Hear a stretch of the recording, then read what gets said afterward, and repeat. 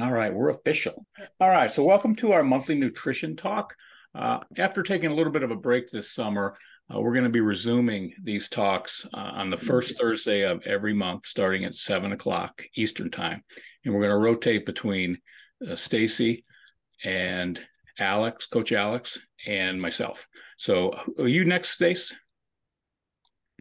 Okay, cool. So we'll have some information up in about a week for that. It's going to be the same link every time that crossfitcleveland.com slash slash register.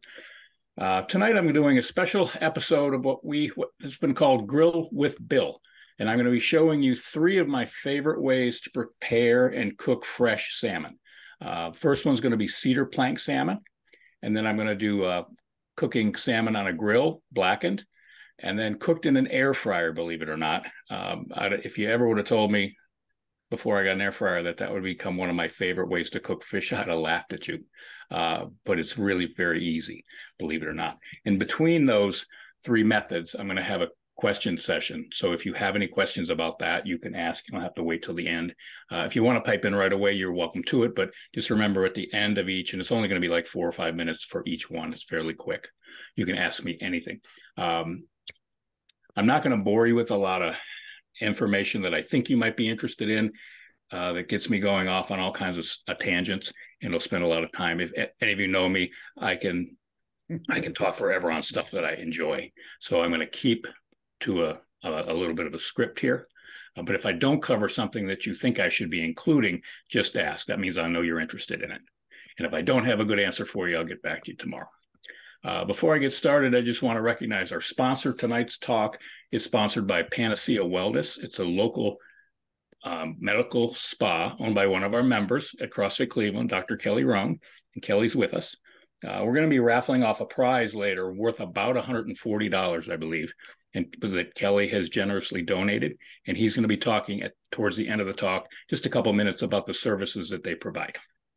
So if you have any questions for him, then you can do that. Thank you, Kelly. So let's get started. You know, I hear it all the time from friends and clients. Uh, they say they love seafood, but they won't cook it at home, uh, either because it tastes like crap when they do it, they overcook it, or they just don't know how, so they avoid it. Um, does anyone else feel that way? Give me a raise hand or hand raise. so f- first off, before I start talking about what I do, I want to be clear that I am not a chef, and I'm not even a cook. I'm just a guy who figured out how to cook things and make things, and they happen to taste good. So I make the same thing over and over. And I'm and if I figured it out, so can you. Uh, so I'm just here to share some of those ideas with you.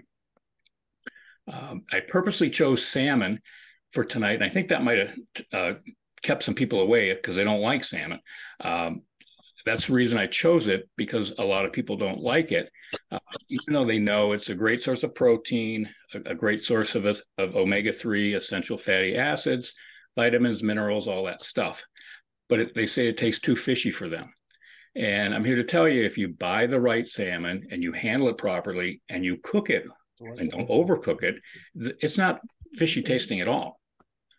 Um, so I always look for the freshest looking and most expensive fish I can find. Uh, I never freeze it and I don't overcook it because I keep my eye on it. We're going to talk about that tonight ways to keep you from overcooking. So I'm going to start with how to prepare and cook fresh Atlantic salmon on a cedar plank. Uh, it's the most time consuming of the three methods, both in prep and in actual cooking, but it's really easy to do. It's just a little more time consuming, and I think it turns out awesome. Stacy, do you like the cedar plank salmon? I think might be my favorite. Might be your favorite. So I'm due for doing that. And of course, you see my kitchen behind me, but instead of having Stacy follow me around on the deck and the patio where my grills are, and it's raining outside now, uh, and having you watch me through all the cooking time, I'm not going to do that. I'm going to show you in pictures. So I bear with me. I think it's going to be a much better way to get my message across and not have you sitting here watching me and talking while everything's cooking. That sound like a good idea? Yep. Let's go. Good thing because that's what you got. I'm going to share my screen. I got a Google Slides thing going. And let's see how this works. Where did it go now? There it is. Share. And I'm going to go in slideshow. Buy the most expensive piece of fish. Hold on. Oh, I did it already. I like that. And if anybody is not on mute, if you could mute yourself, just so that if you happen to have a dog barking or a kid crying in the background, it doesn't ruin my recording. And if you have any questions, feel free to take yourself off mute. All right. Can everybody, oops, hang on, back up. Can everybody see that? My shared screen? Thumbs up. I guess if I talk, tell you to mute and then I ask you a question, that's kind of dumb, isn't it? All right. So, talking about where I get my fish, seafood, uh, my favorite place to buy fish is at Heinen's. Uh, their, their seafood counter for a grocery store, I think, can't be beat. Uh, Whole Foods is second, uh, but I seem to like the consistency and the pricing. Well, pricing is crazy high everywhere these days. Um, but I just like Heinen's. I never they they just never fail me. I know there are a couple places downtown where uh, restaurants source their seafood. Uh, I'm open to any suggestions if you know a better place than Heinen's, but I just it's convenient, it's local. I stick with it. Uh, their organic Atlantic salmon is really good. That's what I have pictured here. Um, I was having it most of the summer, and then lately uh, they're having a hard time keeping it in stock. They can't. They the fish guy there says they can't grow the fish fast enough. It's becoming very popular. So my second favorite for Atlantic salmon is the Verlasso brand. Um, it's it's one of those trusted brands. Uh, I don't buy just Atlantic salmon off the off the rack at a Giant Eagle that doesn't have a name attached that they can't source back to the they, they can't trace back to the source. I just don't trust them because Atlantic salmon there's a lot of talk out there. People say it's not as healthy as as as a wild Alaskan salmon. Um, I do get Alaskan salmon once in a while, but Stacy doesn't like it. So guess what? We get Atlantic salmon. Um, I prefer fresh seafood whenever I can get it, meaning not previously frozen. Uh, sometimes you don't have a choice, but I typically avoid previously frozen for any things like salmon, swordfish, grouper, mahi, uh, turbot, uh, halibut, and ahi tuna. Those are the primary fishes that I that I cook. So we're going to start with cedar plank salmon, and this is what it's going to look like right before it hits the grill. So let me show you how I get there or got to this point by preparing the fillet and the toppings. You can top it with anything you want. Uh, I like either red onion or a shallot. Um, a clove or two of garlic, and some kind of nut. Here I got pistachios.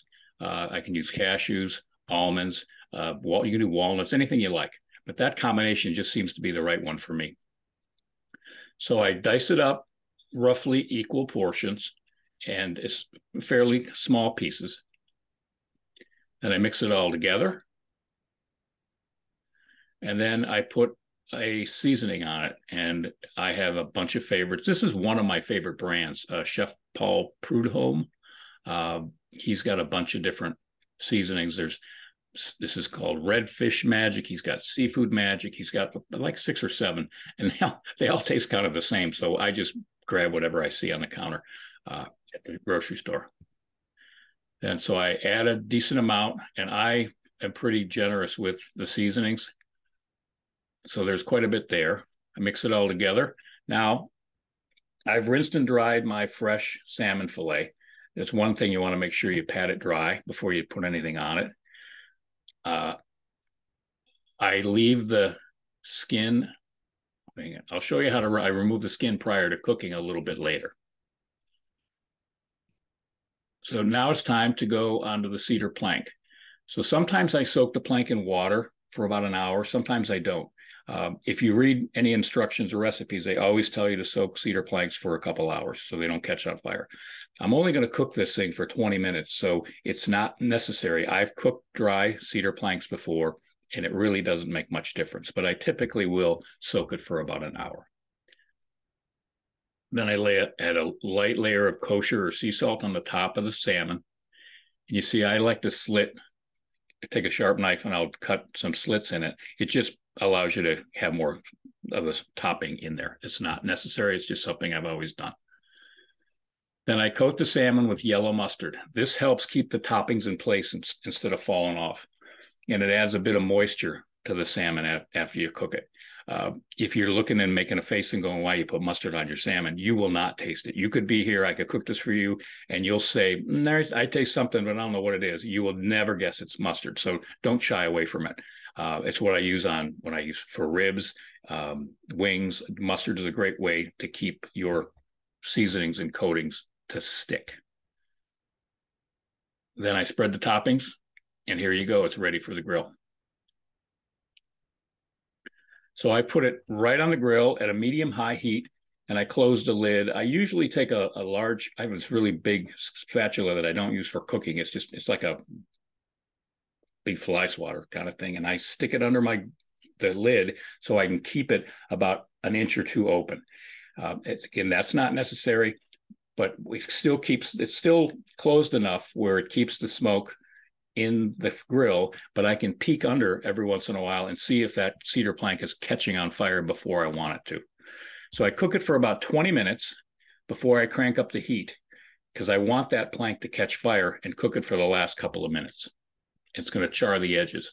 And so that's what it's going to look like. When I open that up after it's been cranked up as high as I can get it, I'm going to let it go like that for a couple minutes. Now I have a video, it's about a 10 or 15 second video that shows that. And it's a couple different angles so you can see how the flames are going. But in, when I tested this earlier, I went to the video and then I couldn't get back to the slideshow. So if anybody wants to see that, I'll show it at the end. Fair enough? Okay. So that is how you cook cedar plank salmon. If I did this live, it would take about a half an hour, 35 minutes. You'd be bored out of your mind. So now if you want to, anybody has a question, you can take yourself off mute. It's pretty straightforward. Where do you get your planks? Good question. Uh, I, up until this past year, I'd always get them at uh, Costco at the beginning of the year. They would have a stack of maybe 10 or 12 for about $15. If you go to Heinen's or, if, like go to Whole Foods, you buy two cedar planks. I think they cost you twelve bucks. They're, they'll they kill you. Um, the last batch I bought was off Amazon. I think I got. Um, I'm supposed to bring one down here. A six by ten inch, probably ten of them for maybe eighteen dollars. So don't pay more than a couple bucks a piece for them. And then I will often take a a saw that I have, a little hand saw that I have in my garage, and I'll cut them in half so I'm not wasting anything because I'm rarely cooking something that's that big. What temperature were you cooking that in the beginning before you turned it up? Well, I just go medium high heat. I don't I don't have a really good thermometer for the air in my gas grill. Okay. I would say it's medium high. Okay. And it takes about 20 minutes. Um, I'm going to talk, tell you a little bit when we get into the next piece how you can tell when it's done. But 20 minutes at a medium high heat seems to work. This is a probably a dumb question, but do you reuse those cedar planks or no? I don't because I you can if if I have one and I don't catch it on fire, I may reuse it. But because they're inexpensive enough and I cut them in half, I just toss them out. That was my question. So it wasn't dumb at all. Nothing's dumb. And you know, if you there are it, there are people that do cedar plank like veggies. You can you could wash it off and use it again, or I would. But cooked fish, and then I usually don't go. I don't go out and clean the grill till later, or maybe in the morning, and so I don't really think I want to reuse that plank. And the skin, the skin sticks to it, and it's kind of. You'll know. How about this? You'll know if you want to reuse it or not. Stacy's shaking her head no.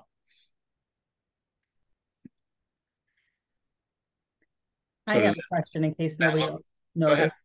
Go ahead. Um, you had farm raised versus, uh, and in your first picture, you used farm raised versus wild caught.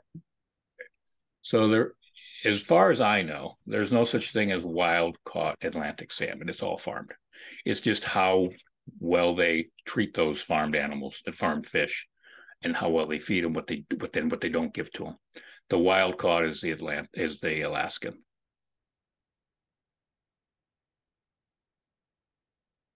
Anybody know any different than that? Yeah. Ready to go on? See what I got. All right, so hang on, what did I forget? So next I'm going to show you how to grill, but not just salmon. So if you want to see how these techniques or my tips apply to other fish, I'm going to have three different fish coming. We're going to cook and and, and they're it's pretty much the same whether you cook them on a grill or on a stove top the preparation is pretty similar so here's three fresh fillets that i have a piece of salmon a piece of halibut and a piece of mahi mahi or sometimes called dolphin fish when you're in florida or the caribbean and if you're in the pacific side they refer to it as dorado it's all the same so i always rinse the fillets under cold water and dry them with a paper towel before adding my seasoning of choice. Uh, sometimes I use the mustard as a binding agent. Sometimes I just sprinkle the stuff on. So in this picture, I didn't use any mustard, but it, and it all sticks. So now I have my grill up to medium high heat and I spray my grill pan with either MCT or avocado oil. So a couple things here I'll show you. I grill pan. I cook on a grill, but I don't ever put the fish on the grates because that's what you'll have trouble with. It'll fall through, it'll stick, and it gets messy. So I have a couple of pans. This is a just a aluminum. It, this is oh, the, excuse the dirt. I haven't. I'm not using this anymore. I need to replace it, but I still have it under my grill. This is going to be the pan that I'm using for a lot of what you're going to see. My favorite is it's called the Rock Grill Pan. They have it at Costco every once in a while. They have it at Amazon, Amazon all the time. It's called the Rock. It's got on this side it's it's a grill pan, and the other side it's a griddle. So you can cook pretty much anything on there. I like putting that on my grill more than just the reason of not having the food fall through the grates is that it will help to even out the heat. Almost everybody's grill has a hot spot and a and a, and a cooler spot and so it's hard to move stuff around on the grates. But if you have a pan like this, it tends to even it out a little bit more. As far as the oil, another little tool we have, Stacy found this little spray bottle that we keep MCT oil in. And so this is an easy way for me to, to do, go on the grill and do that. Or we'll use sometimes that the Pam kind of stuff, the olive oil, or try to get avocado oil spray. But this little sprayer comes in handy. So I'm going to start cooking the salmon out of these three because it can rest longer after cooking it um, without drying out. And I'm going to show you first how to easily remove the skin if you don't like to have the skin on your salmon. So I'm going to start this. So this pan that I'm cooking on is the one I just showed you. So I have the avocado or the MCT oil on, and I'm going to cook the side that I'm going to, excuse me, I'm going to start cooking it skin side down. Uh, cooking times vary, and it mainly depends on how your how hot your grill is and how thick your piece of fish is. Uh, typically, I cook for four to five minutes per side over medium high heat for a piece about one inch thick or a little bit smaller. Okay. I first start with the skin down on this Atlantic salmon for about two to three minutes and I look for the skin when it's starting to char. So I'll take a spatula and I'll just kind of take a peek and it's right before it looks like it, right before it's looking like it's going to burn. Then I turn it over and I use a thin blade metal spatula to remove the skin. It comes right off. So you just stick it under one side and you just kind of shimmy it around and you'll take that piece right off. And so I'll cook the salmon on that side for about four minutes and then I'll turn it back over and finish it off for a couple more minutes on the bottom side now that the skin is removed. So here's another picture that I found just showing you how I can take a spatula and just slide it under and remove that skin. And then I fi finish cooking the skin and get it a little crispy. And if you're wondering why, I'll tell you more about that in a couple minutes. If any of you are dog lovers, your dog is going to love that. So now that the salmon's been cooking, I'm going to add the mahi and the halibut, and I'll cook the skin off the exact same way. Uh, this piece of halibut is a little bit thinner than the salmon and the mahi, so I'll cook. That's going to cook a little quicker. So here's when I pull. Here's when I pull any of them. You want a, way to tell. One way to tell if the fish is done. You take a fork and you stick it in the thickest part of this, the meat. And as you pull on it, it should easily flake off. If you have to tug at it to get it to break off, it's not done yet, or you've overcooked it. But if you're paying attention and you're keeping to these time limits, you're not going to overcook the fish that quickly. So go for that easily flaked. And if you have an instant read thermometer, which I always use, um, my favorite brand is a Thermapen. Um, their instant read, you stick this pen in a piece of meat of any sort, and you get your reading in a second and a half. And so, what I'm looking for, what I'm looking for, because I like my fish medium rare, is 135 to 140 degrees of internal temperature.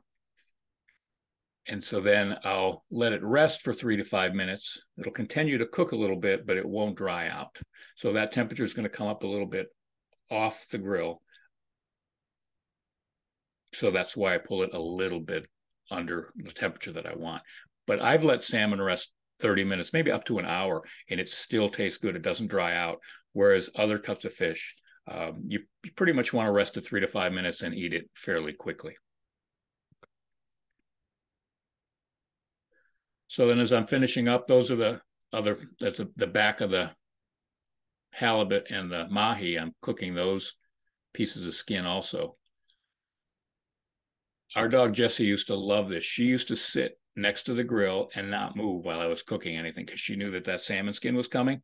And it was, I think it was one of her favorite treats ever. So if you have a dog yourself, maybe a cat, I don't know if a cat would like that, or a neighbor's. Now I give it to the neighbor's dog when they're out. So I don't, and if they're not out, I throw it away the next day. So it's a pretty simple process. It takes four to five minutes per side, and that's out on a on a grill. You can also do this on a stove top.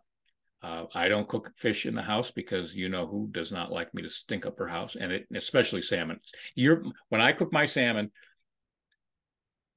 there's no fishy taste at all but it will smell, make the house smell like fish for a week. So be on guard. If you haven't cooked salmon before and you're going to go try one of these recipes, do it outside or or buyer beware. Um, so here's uh, the same cooking time. I'm using a regular frying pan on a stovetop. The prepping is the same. This is a piece of grouper. I blackened it. I cooked it on the stove for about seven or eight minutes. And then I popped it on a piece of salad or a, on, a, on a nice homemade salad. So that piece, and that was a fresh piece of grouper, and grouper's expensive. It cost probably about eight dollars. But if I had a meal like that, it would probably cost me twenty or twenty-five dollars out in a restaurant. So that's how I grill fish fillets. So, any questions so far? I know I'm flying through this, but I want to have more time for questions. If you want me to go back over anything, I can. I don't think I have a question, but I, I can I tell you how I just learned about a month ago how to take the skin off. Sure. You mean So- cooking? So yeah, my fiance just taught me this. So what we do with this to get the skin off is so we have an electric tea kettle so we can get water to boiling really quick. But if you don't have that, obviously you could just maybe boil a little water. And then we just have a grating that we set in the sink, set the fish on that, skin side up, and just pour a little bit of boiling water just kind of on it. And it it'll shrink up and you can just peel the skin off immediately and then move straight into cooking. It's it's been awesome. It's I, I never really I literally just learned this this past month. So I'm going to try it because I have the next slide. It's going to be how I manually take it off, and it's not not easy. Uh, so I'm going to try that for Yeah. sure. Um, do you always start every time you cook fish with your skin side down, all, no matter what fish? I do when I'm trying to cook the cook it off. That's the only reason. Okay, so let's think about this. I'm going to cook. Let's round up to five minutes per side. It's a good thick piece of salmon. I'm going to put that skin side down for about two minutes at least. Then I'm going to turn it over. start cooking for five minutes on the other side while I strip that skin off. And I still need two or three more minutes on that skin side that I've removed. And so then I'll turn it back over and I'll finish it. That's So just, are you guys, that's just the way I do. It. so you're gonna talk about, do you take the skin, like you guys, I'm, I'm assuming like you just guys said, will, is it, do you always start with the skin on or do you prefer to, or is it just whoever wants to do it? Take the skin off before you grill? That's a good question. So we started with the cedar plank. I just leave it on for the cedar plank because what it what I when it's done cooking, it just peels right up. The the skin sticks to the cedar plank. And when you you I can take a spatula right underneath and take the salmon off and the skin stays burnt onto the cedar plank. If I'm going to cook it in the air fryer, which is going to be the the, the next one, I'm going to show you how I I take the skin off and I do it manually. Now I have a new way that Kelly just told me about. Hmm. So in, in its personal preference, Kathy, some people like skin on. So, but the easiest way I found, if you're going to grill it, is just cook it off. And then you have the skin to use for your dog or your cat or whatever. Oh, the cat. Uh, one more question. Do you use your, I'm sorry.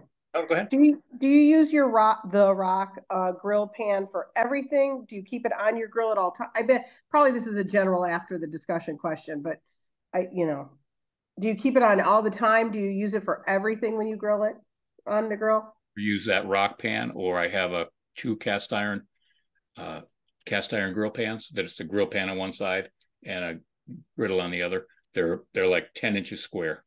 So if you go and look at my that grill, that so I have a bunch. Of, I have a charcoal grill. I have a Traeger smoker, and I have a uh, the regular gas grill that I saw here.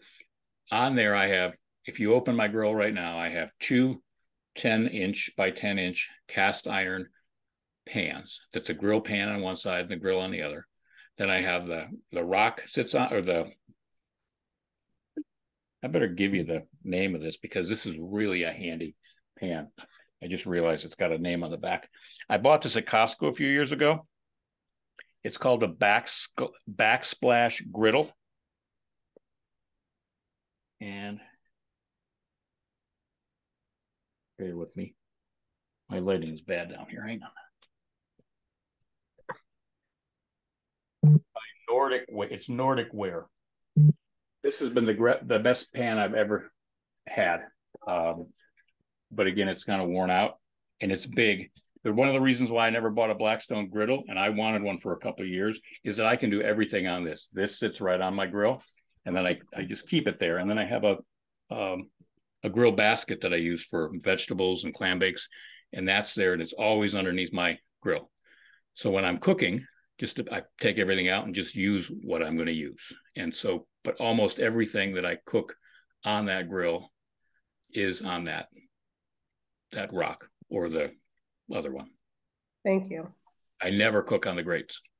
Now on my oh. Traeger, it's a different story. On my smoker, I have a different setup, but we're just talking about the regular grill for now. Yeah, thank you. Sure. Anything else? All right, roll right along. Oops. Ah, all right. So now I'm going to talk about how you can take the skin off m- the way I've done it until I've just learned the new hot water trick. I'm going to try that soon. This is what it's going to look like after you struggle and tear the salmon skin off the back of the fillet. So as you separate it, you generally get a little piece of a small end to come off with you, and then I don't want to waste it, so I figure out how to scrape it off. But it looks like this. I'll take a sharp knife. I'll take the the the. I start with the the thicker end of the fillet, and I'll take a sharp knife and I'll slide it and start cutting a little bit under the skin, and maybe have a little quarter tab, maybe a half an inch of it, and then I'll take a paper towel and use that to grip it. You can try this with your fingers and thumb. I don't care how good a grip you have, you're not going to be able to hold on to that little piece of skin. Uh, you take a paper towel and it's just it's it's like it's like vice grips, and you just peel it right back. Now sometimes it's tough to get off, and so I'll take a bigger knife and I'll lay it and press it on the fillet as I'm pulling on the skin. But if you have a good fresh piece of salmon, especially that organic stuff at, at Heinen's, that's been the easiest skin I've ever had to take off of any pieces of any type of salmon I've had. And I had I was chatting with the guy at the fish counter once, and he said he thinks the same thing. It's just that particular brand, but it takes me just about ten or fifteen seconds to just kind of work it off. You can see on the picture on the right, I'm just peeling it off and done.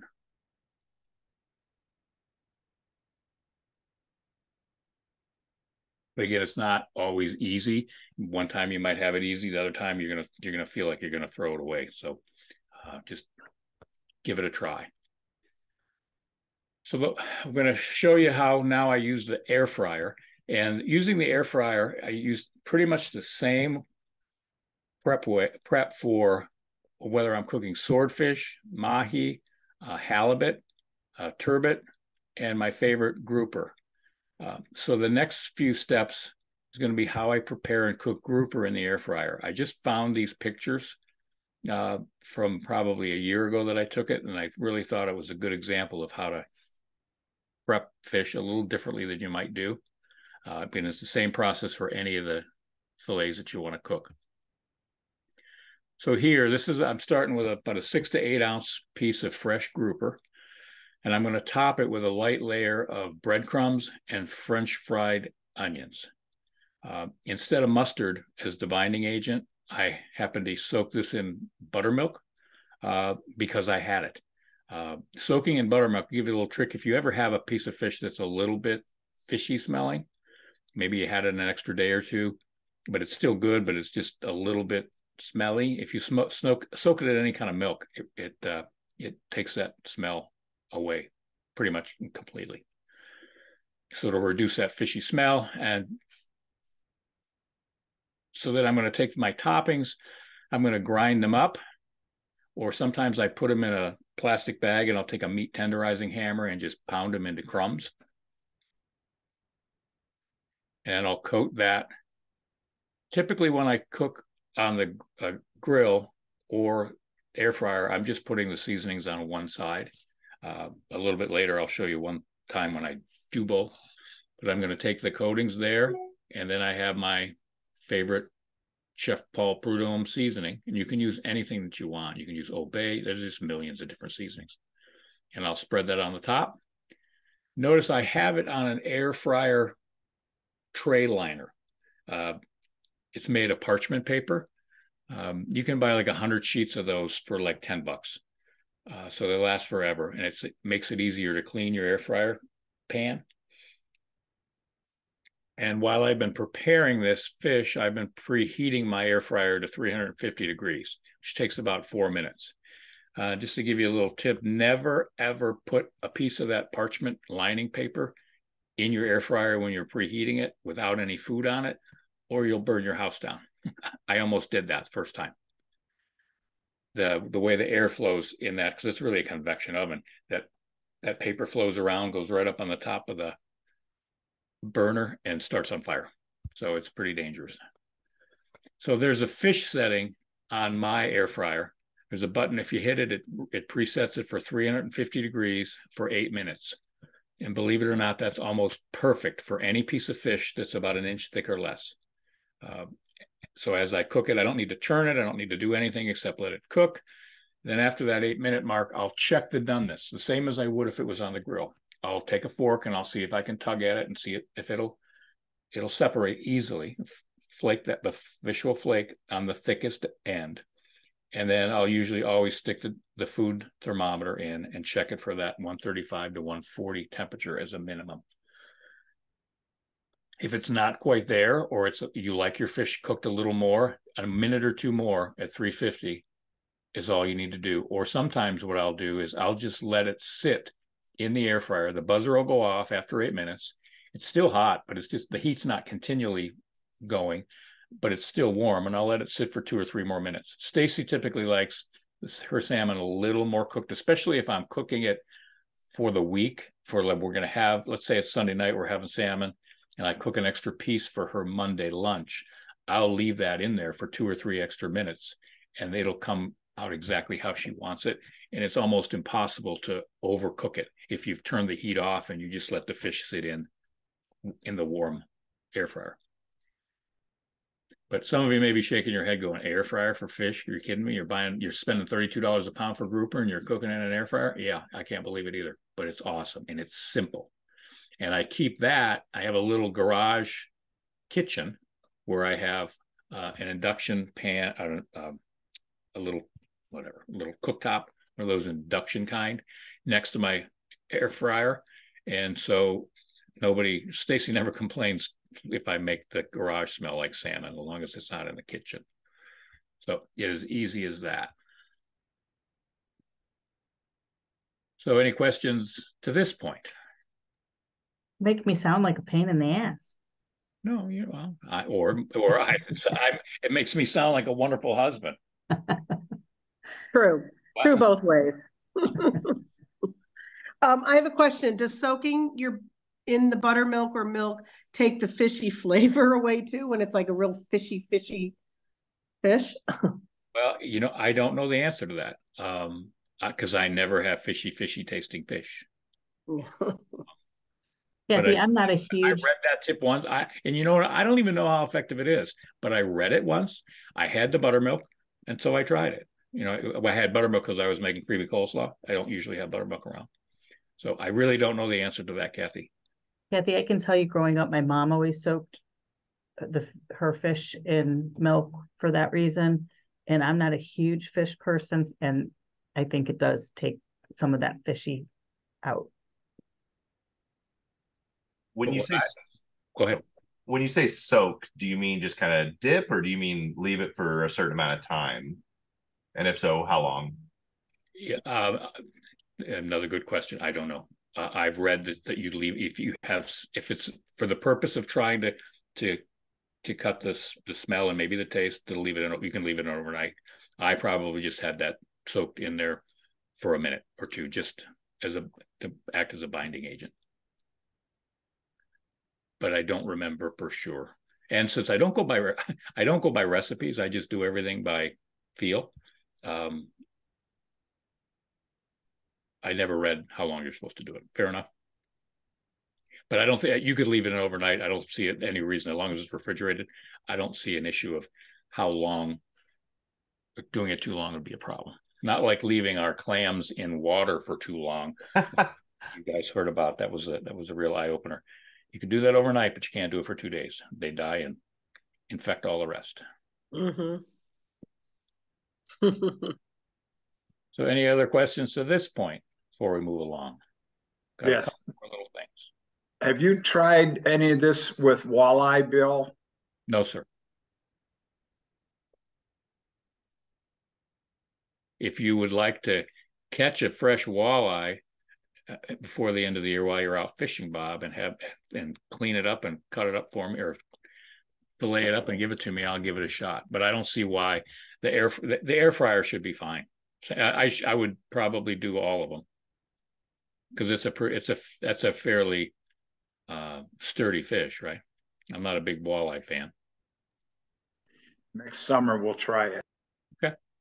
Yeah, I do not know. I'm not afraid to tell you, I do not know. All right. So before we go any further, uh, word from our sponsor. Um, Kelly has graciously donated a package of three infrared sauna sessions at his medical spa, Panacea. It's valued about Hmm. $140. And if you're on this call, your name's going to be entered into the drawing that we're going to do later. But I'd like to give him an opportunity to just. Oh, we're going to do one thing. If if anybody's interested, um, I have one last thing of how I cook seared ahi tuna. Does anybody want to hear that? Yes. Yes. It should be quick, and then I'm going to give Kelly um, a couple of minutes to just tell us a little about the services that they have. He offers at his medical spa, Panacea Wellness, uh, and you can ask him any questions that you might have. Hey, Bill, can I ask one more question? I'm sorry, you guys.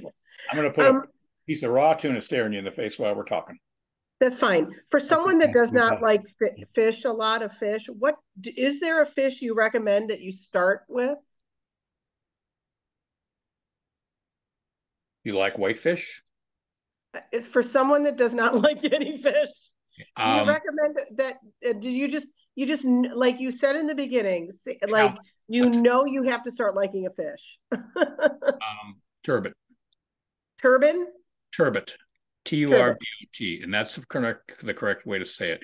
Uh, I said it once to the woman at Heinen's, and she went, "It's turbo, sir." I'm like whatever, it's turbot. It's a white fish. It's, it's a flat fish. It's kind of like, well, I don't know what I don't want to say it wrong, but it's really mild. Uh, it's easy to cook. It looks and f- it feels the same kind of texture as tilapia, uh, but I won't touch tilapia because I've seen pictures of the farms that they raise them in.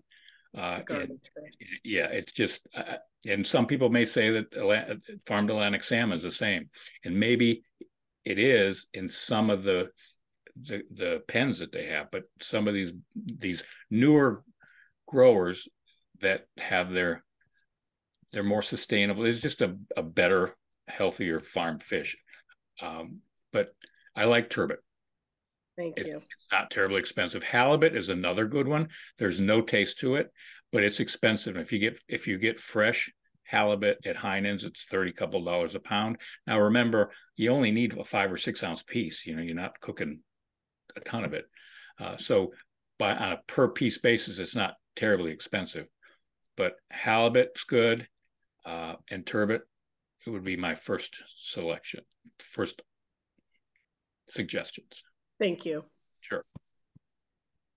Uncooking this and making sure that you don't overcook it. 135, 140 seems to be the temperature, four to five minutes per side. If it's if uh, a little bit less than an inch or so. If i once in a while you, you you'll get a there'll be a side of salmon and it's almost an inch and a quarter thick. That's going to take you maybe five six minutes per side. So it's between that 135 to 140 is a good number in the fatter part of the meat. And it should also flake off. If the, if the fish if i can't separate that fish with a fork with a little light pull i'm letting it cook a little longer and I'm testing it. So it's not like I'm going to cook, let it cook for so long and then come back to it and go, hmm, let me test it because it might have gone past that point and now it's overcooked. Because if it's if I if it's been six or seven minutes and I can't separate the fish, and then I wait a couple minutes and I can, I'm good. Okay.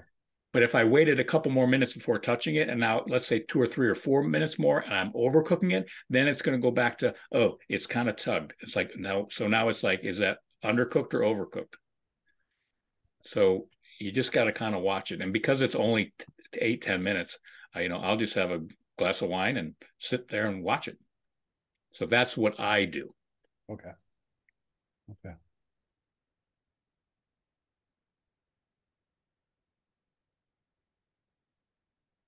All right, I'm going to move along here with my nice piece of yellowfin tuna. It just it happens to be sitting next to a piece of salmon, so you can ignore that. It's pretty quick.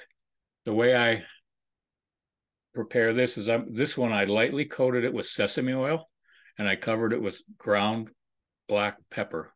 And I do that on both sides. And you can put as much pepper on it as you want. And then I'm going to take a grill pan and I'm going to get it as hot as I can. Now this there's no medium high heat here now. I crank my grill as hot as I can get it. So I want it hot as you know what. And then as it's starting to cook, I like mine rare, so it's only about 2 minutes per side. And it might be a little bit faster depending on how hot the pan is. So what I do is I watch the side of the tuna steak. And as I start to see the it getting white, maybe just a quarter of an inch, then I'll turn it. So you can see how it's a little bit raw in the center. Everybody see that? And so then I'll cook it for a couple more minutes. Now, once when I usually when I turn it and it's cooking a little longer now, the the outside edges kind of all turn a little bit white because of the heat that's around it. So I can't really tell as well how rare the steak is. So I'll cut it in half on the grill, and that's what I did here. And that's exactly how I like it. So I pull it. If you like it more cooked, just sit there and watch it until that pink is a little bit thinner. So I usually cut it in half like that because I'm not worried about juices flowing out like a steak. I wouldn't do that if I had a good steak on a grill. I'm not going to do that because now the juices are going to come out of it, and, and I like to leave it and rest it afterwards. But the fish is not going to. You're not going to have a problem if you cut it in half like that halfway through cooking. And I'll put it on a pan. I'll put it on a cutting board, and I'll slice it right away because if I let it sit there, it will continue to cook. I find that if I cut it right away and I let it sit there, I can leave that on that cutting board for five minutes, 15 minutes, 20 minutes, and it's not going to cook anymore. It's going to look just like that. And that's how I like it. So put a little wasabi and pickled ginger, and there's our meal. Looks just like a restaurant, doesn't it? It does. So So, uh, so I have a question. I'm sorry. You, I'm sorry. Let- Um, let me, uh, oh, do you, oh, I'm sorry, go ahead. I got two more slides and I'm done, but go ahead. Oh, okay, go ahead. Well, I was just going to say that Yeah, go ahead. it's it's this one's really really easy and it's the hotter your pan can is the better you Mhm. can heat more you can do this on a grill pan this is one i have this is that's my induction cooktop in the in the garage. So you don't have to have a fancy grill as long as you can get it hot enough. But i find if you get a pan on a on a stovetop or this in my garage that hot i mean it's really smoky but you can do it. The best way is that's my one of my cast iron grill pans that I have on my grill. And that's my preference for tuna because I can get that I can get the grill hotter without any smoke. And so it gets really seared on the outside and it's only about you know a minute and a half, 2 minutes on each side. Again, you just watch it and do to your go to your preference. But making and that's what it looks like. Um, it's really I, I, like the grill pan. If I'm not going to slice it up, if I'm going to serve it more on a platter with as a steak like that, it just makes really good looking grill marks. So if you put that on somebody's plate, they're like that really good. But that is how I like it, and it's really easy to do. All right, now Kathy. Sorry. Do you um buy so I do this is what I do to make a lot for my son. Um, I don't eat the fish, but I make it all the time. Do you do sushi when you I, I always get confused when I'm at the store. Do you buy sushi grade or do you is there a different type of tuna that you buy when you are going to grill it? Yeah. I buy yellowfin tuna, ahi Yeah. tuna, the same thing. Same Okay. thing. And I it's not sushi grade. You have to cook it. Okay. But from what I understand, sushi grade is able to eat raw. hmm Flash, it's frozen. It's been previously frozen. They flash freeze it on the boat. I don't know if they if they fillet it and freeze it or if they freeze the whole fish. I don't know. Uh, hmm that, that would be you- you'd ask somebody at a at a real not at a not at a Heinen's counter, but like a couple of these places. I think um Novelist Seafood. I don't know if they're still around or if it's They a- are just there. that's one of the premium ones in town that that the restaurateurs get from. If you, somebody worked there, they would tell you exactly, you know, what's done. But sushi grade tuna is previously frozen and can be eaten raw, and I don't get that because oftentimes I get it. Like if you, uh, I've I've bought it at at a at a Heinen's cut up place or more like um, what's that one in Westlake Fresh Thyme, they have it there. Uh, it's not expensive. It's only like eight dollars a pound hmm dollars a pound sometimes, but it's always fishy tasting to me. Yeah. The stuff they serve you at the really good sushi restaurants, who knows what? I don't know what they pay for that. Probably crazy because it's not fishy tasting at all. So I have not found sushi grade tuna to be to my liking, unless I get it. At a restaurant. I serve. I kind of do that as a treat when we go out. I'll get Okay. that. I'll get that from the people that really know how to prepare raw stuff. Thank you.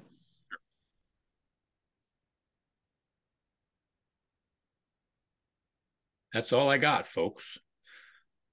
So any other questions, comments, throw throw in any of your favorite tips? Let me know, was this helpful? Is anybody going to use any of these methods to go cook fish next time? I like Kelly's hot water trick, but I do want to hear more about his company. Yes.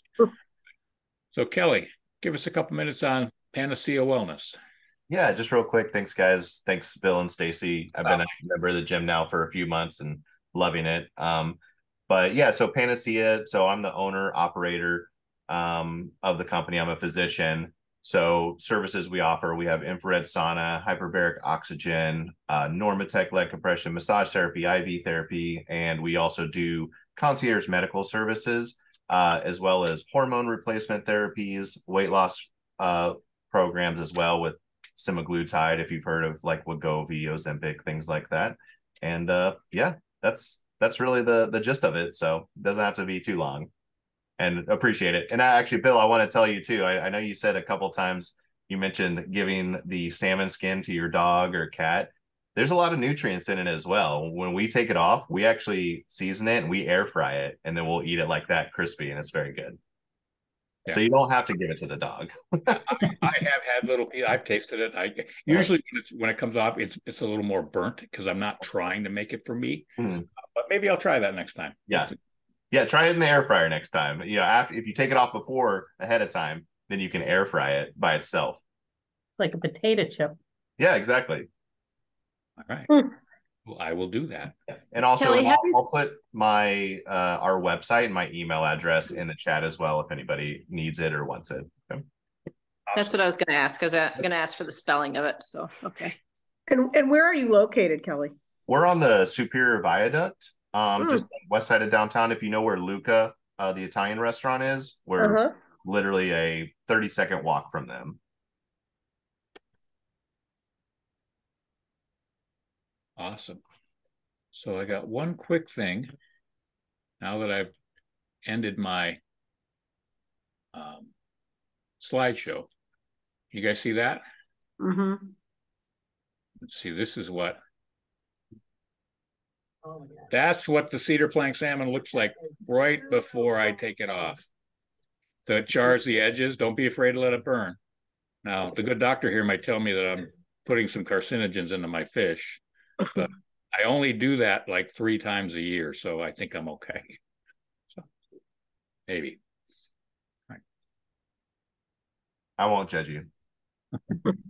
Oh, yes, you will. That's all right.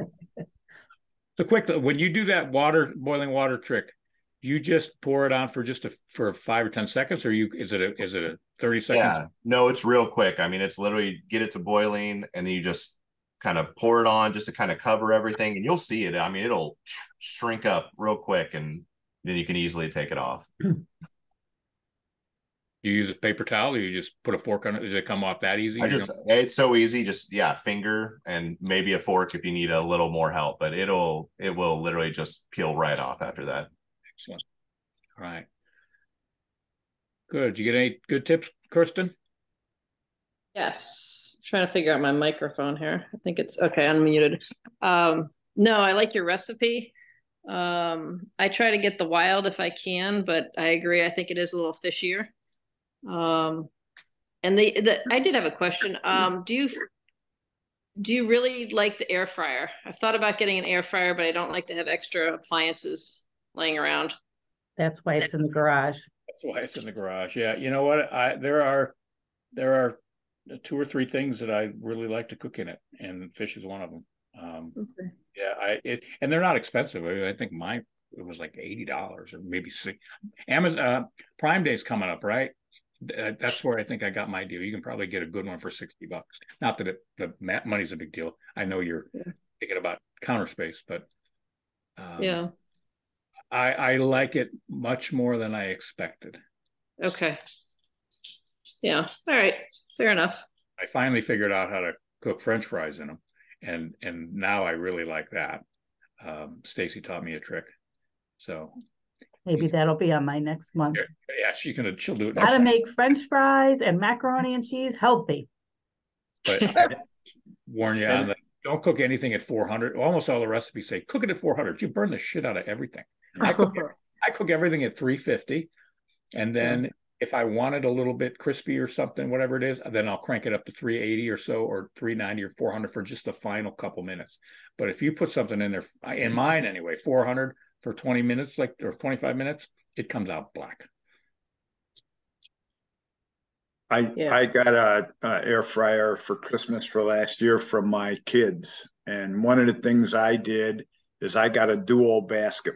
So it's a little bit bigger, but I like your idea, Bill. I think that I may be setting up a table out in the garage and just get some of this stuff off of there. Mhm.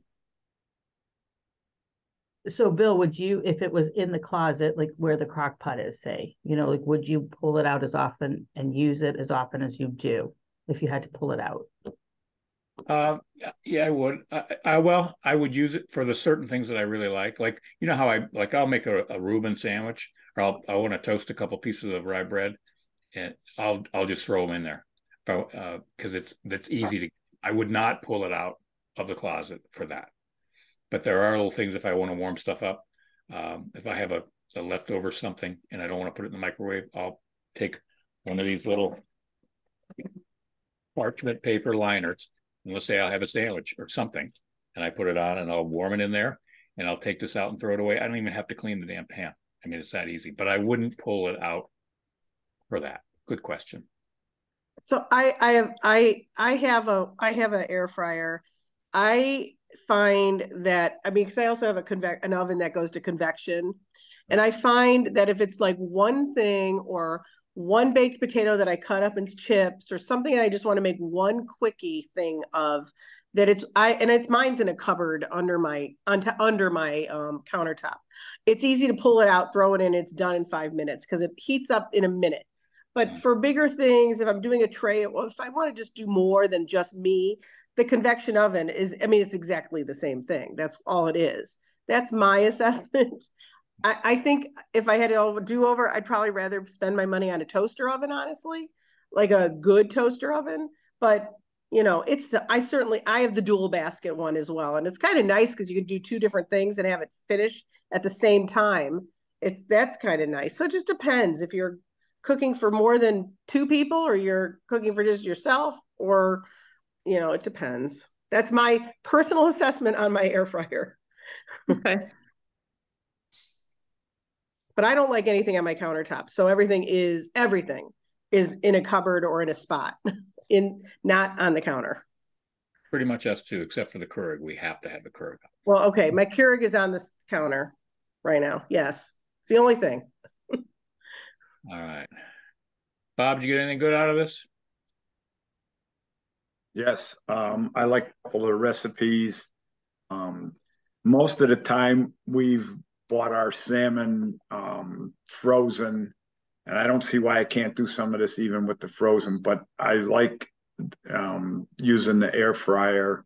Um, Lynn cooks it in the oven all the time, um, but I think I want to get some good stuff and use it on the grill.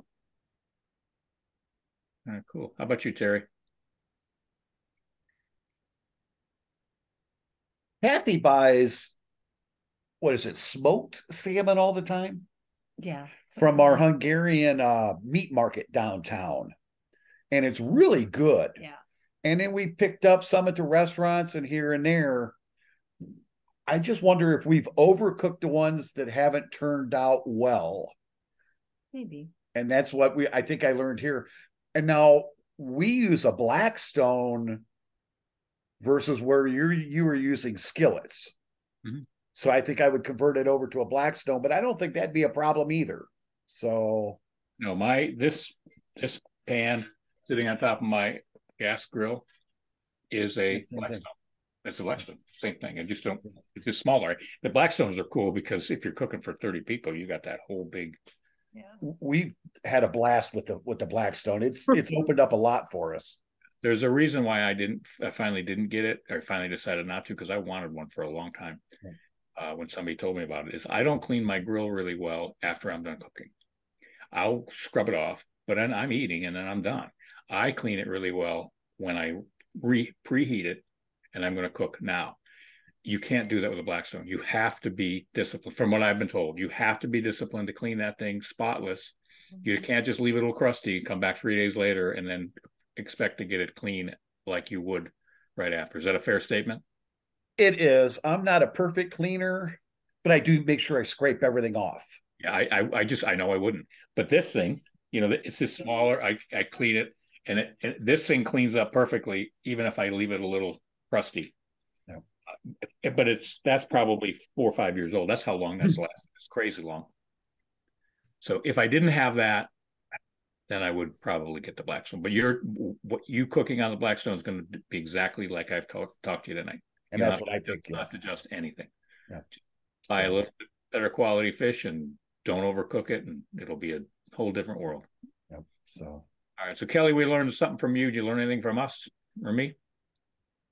Yeah, absolutely. I've never uh, thought about cooking it in the air fryer before. So that's interesting. So I know we were talking about the air fryer. I love the air fryer. We, I mean, if I can, as long as it's not like a soup based thing that needs to be in a bowl, if I'm reheating it, it's going in the air fryer. It's not going in the microwave. So yeah.